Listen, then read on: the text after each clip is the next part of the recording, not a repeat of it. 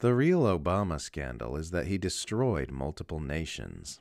Notes from the edge of the narrative matrix. Holy shit, did you guys hear the news about Obama?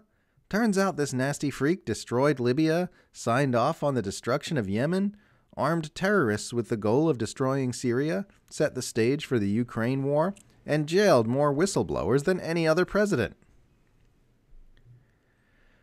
I oppose the death penalty, but if the U.S. is going to execute people, it needs to execute mass murderers like Bush, Cheney, Obama, Trump, Biden, John Bolton, Hillary Clinton, and Victoria Nuland before it executes any normal member of the public for far lesser criminality.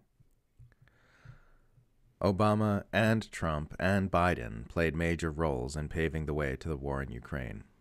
If you have a problem with any of those three names being on this list, it's because you're a mindless partisan NPC who lets party politics do your thinking for you. I don't hate Americans. Hell, I married one. Everything you listen to here is co authored by an American.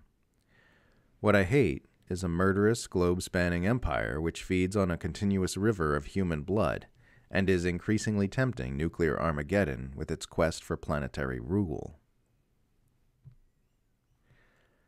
There is no ordinary people lobby. There are no heavily funded think tanks placing arguments for normal human interests at key points of influence in Washington. The scales are forcefully tilted against what normal members of the public want and need, because what the rich and powerful want and need differs so sharply from the interests of the public. Society is a mess because we have systems in place which allow a small number of people to dictate government policy and decision making against the interests of everyone else. A big part of the problem is the fact that our rulers are always thinking in terms of mass scale psychological manipulation, and normal people almost never are. There is all this work and research pointed at how to manipulate human minds at mass scale, and nothing comparable exists that's pointed at countering that influence. There is no anti Bernays. This is an entirely one sided fight that most people don't even know they're on the receiving end of. It's not divisive to say the left must oppose racial injustice as well as economic injustice. It's divisive to say the left must ignore racial injustice and focus solely on economic injustice. You can't just tell marginalized groups to suck it up and put the injustices they face on the back burner because some white leftists experience cognitive dissonance when you talk about institutional racism or whatever. That's just saying the working class must remain divided along racial lines in addition to all the other ways it's already divided against itself. You don't get class solidarity by telling racial minorities and other disempowered groups that their unique problems aren't important. You get it by coming together and supporting each other.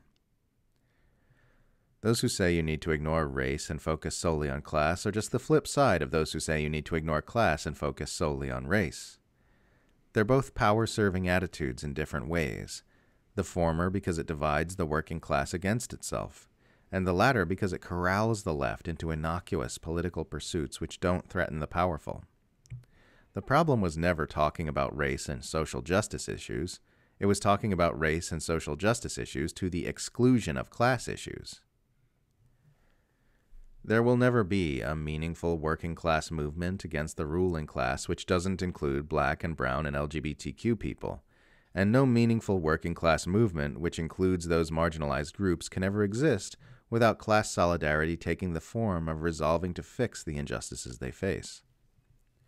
Standing together means lifting up the most disempowered among us, not pushing them down to stand on their backs and demanding they act like that's fine. Divisiveness doesn't look like marginalized groups demanding their struggles be honored and supported. It looks like people outside those groups demanding those groups sit down and shut up about their struggles.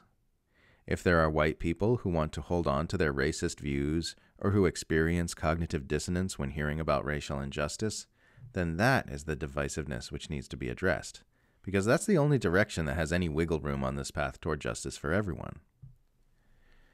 You're going to have a lot more luck teaching the white working class that racial injustice hurts their own interests in the long run, and that talking about it doesn't mean white workers aren't struggling too. than you'll have trying to tell non white people to just ignore racial injustice. It's not just the morally correct thing to do, it's also the only viable path toward success. Racism has always served the powerful by keeping workers divided against each other, and we'll never be able to fight the powerful until we fix it. We just won't.